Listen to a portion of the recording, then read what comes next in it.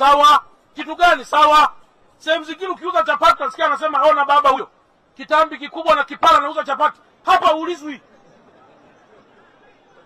uongo kweli jamani? Hapa piga debe lako hakuna mtu anakuuliza. Mpaka mlege hakuna mtu anakuuliza. Kijijini kule ukipiga mlege ameanza kuchanganyikiwa. Hapo ukipiga mlege janga la mjini uongo kweli jamani? Nimeona swali hapa jamaa amenyosha hey, uniulize bwana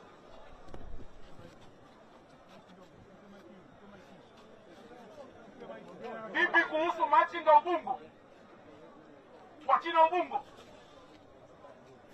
na lenyewe nalo nalo linalalamikiwa. Sawa eh? nalo linalalamikiwa kwamba kwa nini tumeruhusu watu wajenge yale maduka ubungo sasa jibu ni hili. Jibu ni hili. Kama leo naweza kunitishia maduka afungwe kariakoo si bora na mimi niwe na sehemu zingine nyingi ili kulinda maslahi ya watu yale maduka pale yanajengwa kwa ubia wa serikali na serikali ya china lakini waendesha maduka ni weusi kama wewe kama mimi. Hapana mchina anajenga na sasa hivi tumekwisha anza kupangisha. Yoyote anayehitaji anakwenda anachukua duka lake anapata mambo yake.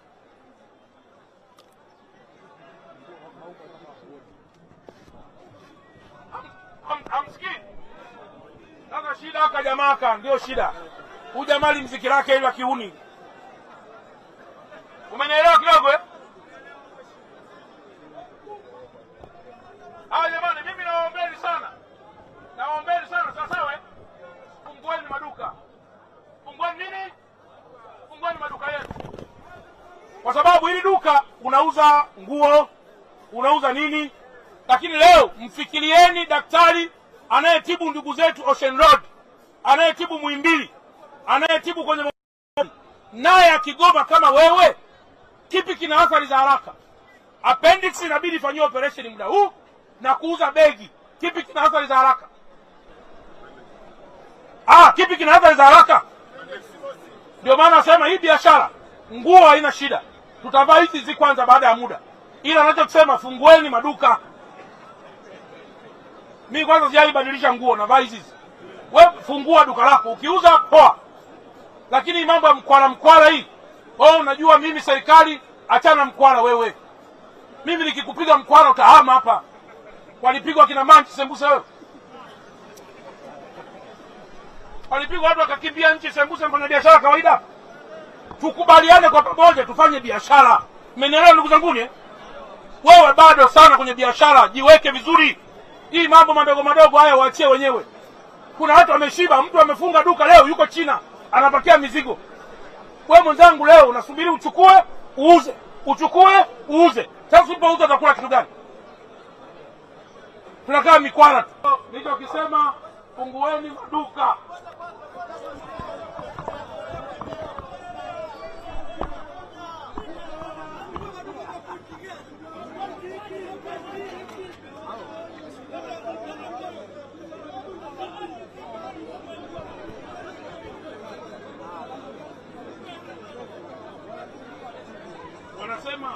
waondoke kwa sababu nyewe mnawazuia mna, mnawazuia wateja wao. Ndio malalamiko yao. China sio wa china. Ruhusu niondoke jamani.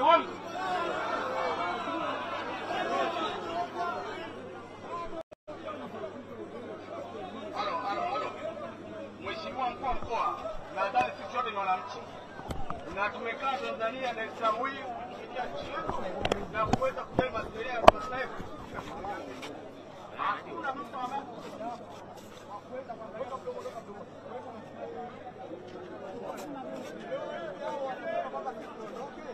hakuna mfanyabiashara mmoja anaenda China, anaenda Uganda wala Kenya. Sio tunafanya biashara ambayo tunachukua biashara kwao, na wao ndio wanatuzuia.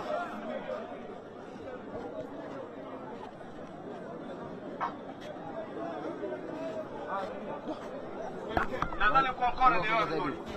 Sisi hakuna mtu anayesafiri kwenda China wala Korea wala ongeza nguvu biashara kwa wao. Leo wanavyotengeneza wadui tatu tusisi wa machinga na wao, wanategemea hizo biashara watawauzia nani?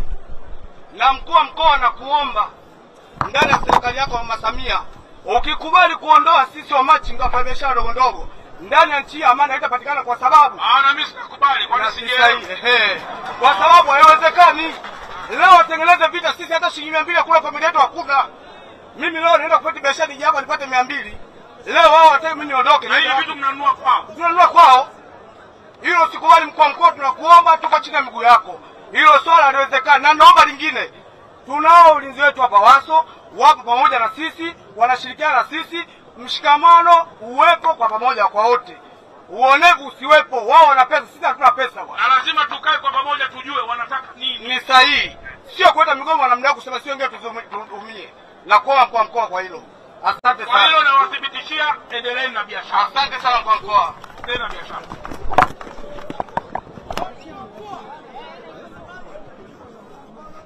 kwenye biashara wamachinga wajagoma wanagoma na kwenye biashara ambao wana malalamiko wa miaka mingi wapata kazi Sasa wewe si uje hapa chini uongee. Ni kweli ah, nasemaje?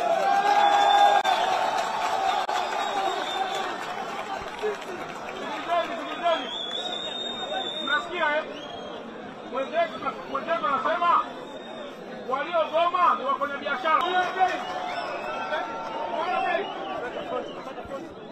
Jamani, mmemsikiliza Mmemsikiliza? Mmemsikiliza eh? Alichokieleza, si ndio? Yaani sasa hizo ndio brain tulizonazo. Lazima kwa hoja kwa hoja kwa jamani, hoja kwa eh, hoja kwa hoja. Aliyefunga mimi sikwambii ufungue, ila nakuthibitishia nitakulinda ukiwa umefunga hivyo hivyo. Na wewe unayefungua biashara fungua, yule akikutishia mimi nitamlima hapa hapa. Mmenielewa eh? Jamani, mmenielewa? Haya, fanyeni biashara. Anayefunga biashara aendelee, anayefungua biashara afungue. Ehe.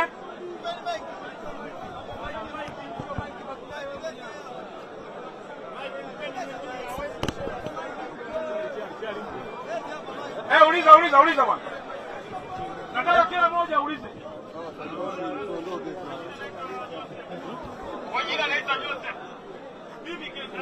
Joseph kwa mkuu wa mkoa. Wewe umekuwa tu mwanasiasa wa kwanza au unakuja kusema kwamba shida kubwa Kariakoo, shida kubwa ya humu kuna wanasiasa ndio wake.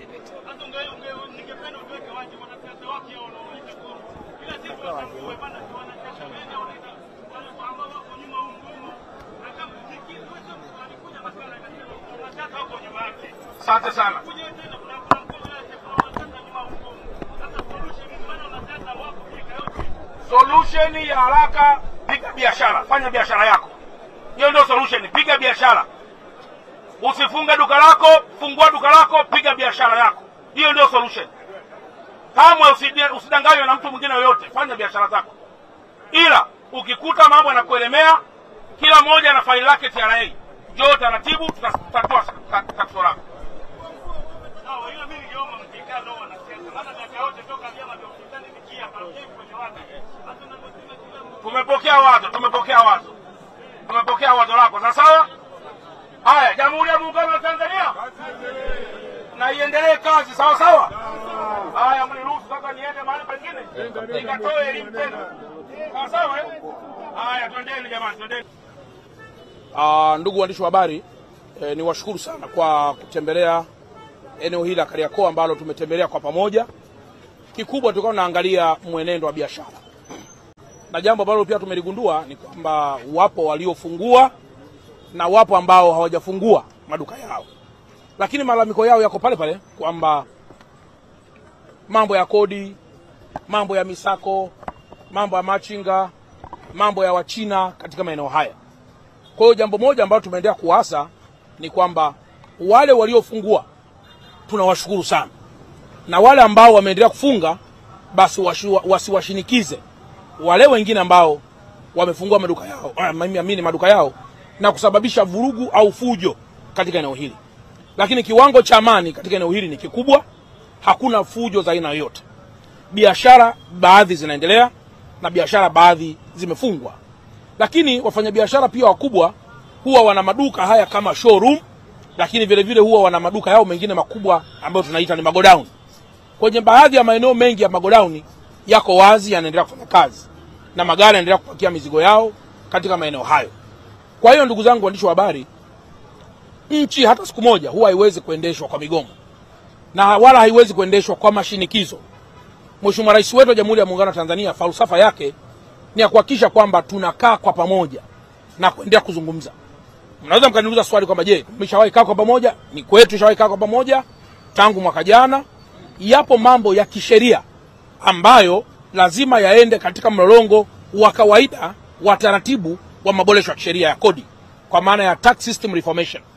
Ku, ku overhaul mfumo wa kikodi wenyewe kwa ujumla wake sio jambo dogo, ni jambo ambalo linahitaji nyakati, linahitaji muda, linahitaji wataalamu, linahitaji budget na linahitaji vitu vingi sana. Kwa hiyo hivi ninavyoongea, baadhi ya wafanyabiashara viongozi wako kule Dodoma kwa ajili ya kuonana na kamati ya Bunge ambayo pia inahusika na masuala haya ya kibiashara. Kilichokosekana hapa ni ule tu uvumilivu wa kawaida almost ambao ndio umepelekea kuwepo na haya. Sasa ndugu zangu waandishi wa habari, kila mtu kabla hujafanya jambo lolote ni vizuri kaangalia hapa Kariakoo pana biashara za aina nyingi. Wapo wafanyabiashara wakubwa, wadogo na wakati. Sasa mfanyabiashara mdogo na wakati ndani ya siku moja hii ataanza kusafa, pengine hata kesho atasafa zaidi. Kwa hiyo ndio maana natoa wito, natoa rai kwamba migomo bado sio suluhisho. Mimi kama mkuu wa mkoa nikisema nianze ubabe hapa na kufanya vitu vingine vyote, naamini mimi kama serikali wala sitafeli sana, lakini ni muhimu kuchukua approach ya mazungumzo ya kujenga upya nchi ya kufanya biashara kwa maslahi, ili angalau nchi yetu iweze kwenda vizuri. Kwa hiyo naamini tukienda namna hiyo tutakuwa tumefanya jambo ambalo ni jema sana, na nataka niwathibitishie wale wote ambao wamefungua biashara, tutaendelea kuprovide ulinzi kwao, na hakuna mtu yoyote yoyote yule ambaye atafanya jambo lolote kwa wafanyabiashara waliofungua, na kama yupo atafanya lolote lolote, pia litafanyika hapo hapo mbele yao, ili kutoa funzo pia dogo kwamba tuendeshe nchi kwa mashawishiano ambayo yanaweza kuharibu amani hii ambayo tumekusha jenga kwa muda mrefu sana. Kwa hiyo huyo ndio rai yangu kwa wafanyabiashara wa Kariakoo.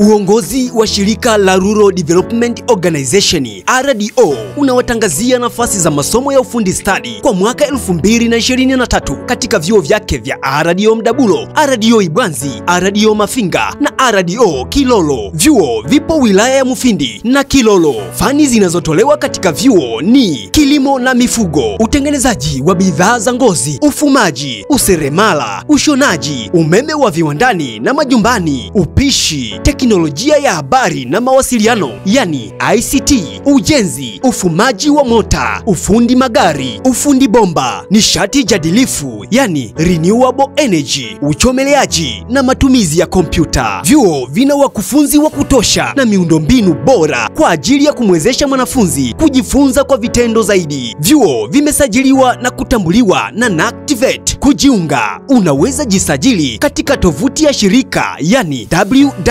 www.rdo.or.tz au unaweza kufika katika vyuo vyetu. Fomu za kujiunga zinapatikana vyuoni kwetu au unaweza pakua katika tovuti yetu. Vyuo ni bweni na kutwa. Ada zetu ni nafuu sana na ulipwa kwa awamu nne. Kwa maelezo zaidi, wasiliana nasi kwa namba za simu 0757351837 au 0754670270. Mzazi, mlete mwanao kwa mafunzo mahiri ya ufundi stadi na malezi bora. RDO tunasema ufundi ni taaluma inayoishi.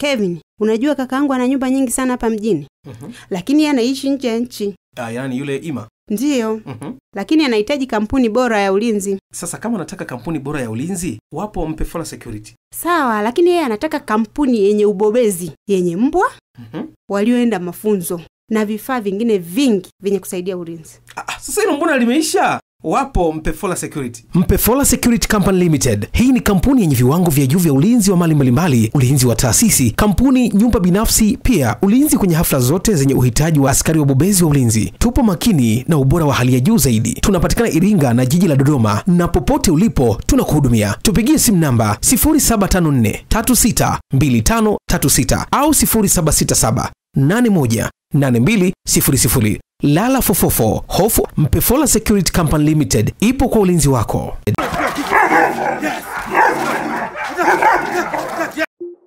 Hii ni huduma mpya kwa wale wote ambao wanahitaji kurekebisha meno yaliyoota bila mpangilio mzuri, yani braces. Na huduma hii sasa imesogezwa mkoani Iringa kwa gharama ndogo kuliko popote pale nchini.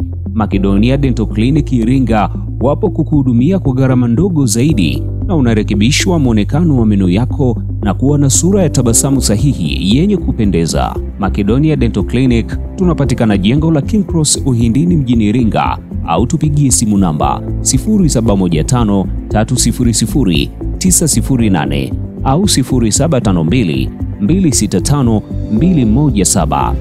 tunanyosha meno ambayo hayajakaa kwenye mpangilio mzuri kwa kuweka braces.